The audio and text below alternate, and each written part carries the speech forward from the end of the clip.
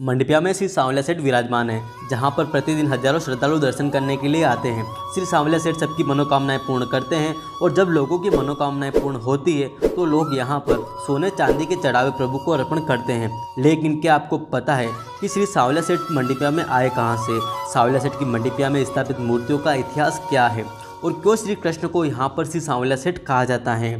तो जानते हैं इस वीडियो में। दोस्तों, अगर आप चैनल पर पहली बार आए हो तो चैनल को सब्सक्राइब ज़रूर कीजिएगा और साथ में बेल नोटिफिकेशन को भी ऑन कर दीजिएगा, जिससे कि आगे आने वाले सभी ऐतिहासिक वीडियो की जानकारी आप तक सबसे पहले पहुँचेगी। तो चलिए शुरू करते हैं आज का वीडियो। श्री सांवला सेठ जी का यह मंदिर। उदयपुर चित्तौड़गढ़ हाईवे पर चित्तौड़गढ़ से 40 किलोमीटर की दूरी पर स्थित है, जिसे मंडपिया के नाम से जाना जाता है। भगवान श्री सांवला सेठ के इतिहास को लेकर कई प्रकार की किवंदितियाँ प्रचलित है। आज उनमें से कुछ किवंदितियाँ आपके सामने पेश करने जा रहे हैं। तो चलिए शुरू करते हैं।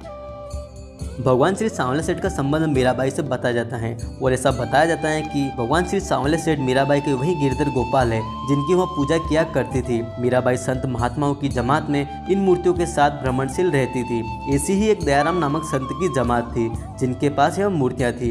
एक बार जब औरंगज़ेब की मुगल सेना मंदिरों को तोड़ रही थी, मेवाड़ राज्य में पहुँचने पर मुगल सैनिकों को इन मूर्तियों के बारे में पता लगा। तब संत दयाराम जी ने प्रभु प्रेरणा से इन मूर्तियों को बांगुड़ भासोड़ा की छापर में एक वट वृक्ष के नीचे गड्ढा खोदकर पथरा दिया। फिर समय बीतने के साथ संत दयाराम जी का देवलोक गमन हो गया।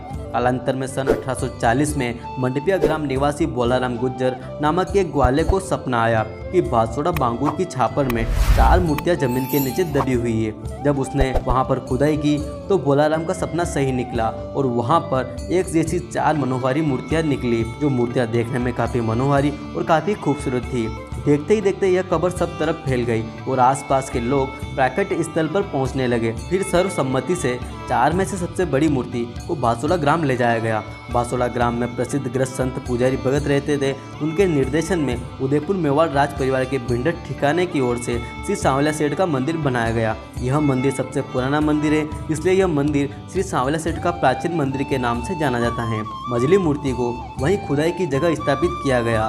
उसी प्राकट स्थल कहा जाता है। जबकि सबसे छोटी मूर्ति भोलाराम गुज्जर द्वारा मंडपिया ग्राम ले जाई गई, जिसे उन्होंने अपने घर के परिंडे में स्थापित करके पूजा आरंभ कर दी।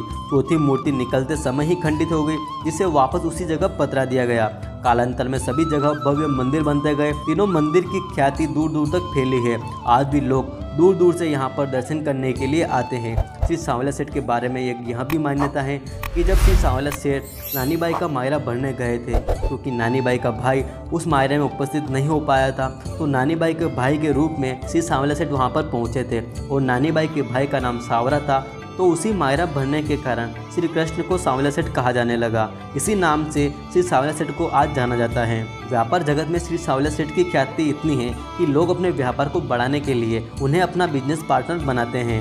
अब बात करें दूसरी किवंदिती की। 1840 में तत्कालीन मेवाड़ के महाराणा यहाँ पर एक सड़क बना रहे थे।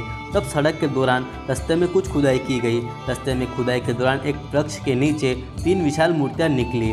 यह मूर्तियाँ श्री कृष्ण की मूर्तियाँ थी, जो आज वर्तमान मंदिरों में विराजमान है। ऐसा बताया जाता है कि उसके बाद उन मूर्तियों को सभी अलग अलग जगह पर स्थापित किया गया और प्राकट्य स्थल मंदिर जहाँ पर बना है, वहीं पर खुदाई हुई थी, जो बासोड़ा ग्राम में स्थित है।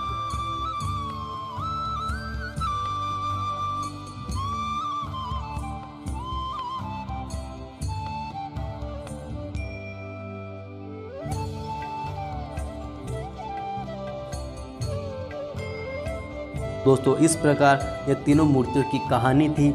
और तीनों मूर्तियों का इतिहास था।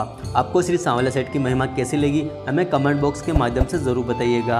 और वीडियो को लाइक ज़रूर कीजिएगा और दोस्तों के बीच में इस महत्वपूर्ण जानकारी को शेयर कीजिएगा। मिलते हैं अगले वीडियो में कुछ नई रोचक जानकारी के साथ। तब तक के लिए जय श्री सांवला सेठ।